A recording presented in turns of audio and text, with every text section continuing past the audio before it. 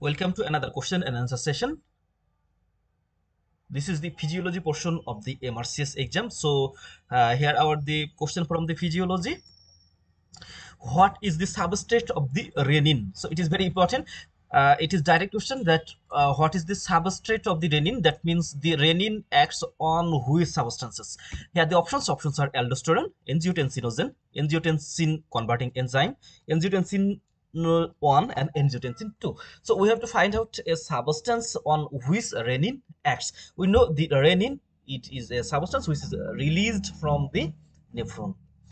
So here uh, in short uh, let's say due to any cause or due to any event that causes hypovolemia or blood loss in this case what will happen? So first of all here we can see in case of hypovolemia that means the loss of the volume from the circulation. It may be through the bleeding or hemorrhage. It may be due to vomiting due to diarrhea or any other cause. So first of all the decreased cardiac output. So when blood volume decreases there decreases the cardiac output. And this condition renin angiotensin aldosterone activation through the kidney sodium and water retention occur and finally volume is preserved.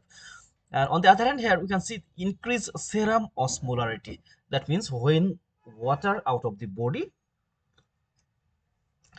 then the solute component is more and plasma osmolarity increases.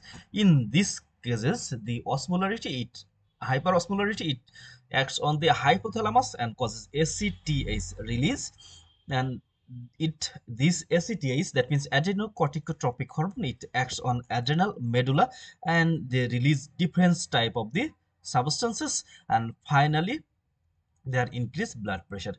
And also the baroreceptor mechanism plays important role. But our main action is here. That means the renin acts on which substances. So in case of hypovolemia blood also decreases blood circulation also decreases to the kidney. And for this condition renin is released from the kidney and it enters into the circulation. And in the circulation already prepared substance which is the angiotensinogen released from the liver. So angiotensinogen angiotensinogen they always present in the blood and they derived or they originated from the liver and they circulate into the circulation.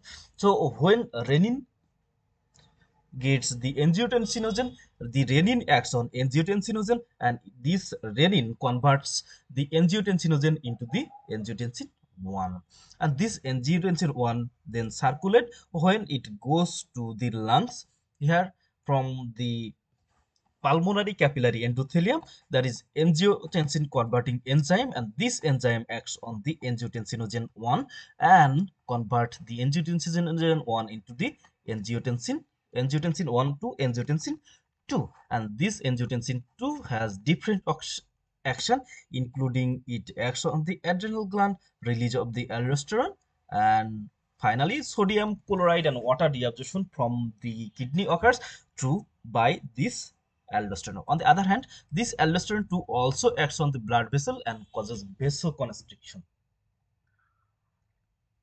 and this total mechanism is known as the renin angiotensin aldosterone mechanism which is also known as the RAAS mechanism. That means R for renin, angiotensin, aldosterone system which is RAAS. So renin acts on which substances? His acts on angiotensin angiotensinogen. On the other hand, angiotensin converting enzyme it acts on the angiotensin 1. So it is now our answer. It is very easy that the substances uh, substrate of renin that means renin acts on which substance is it is the angiotensinogen which is released from the liver.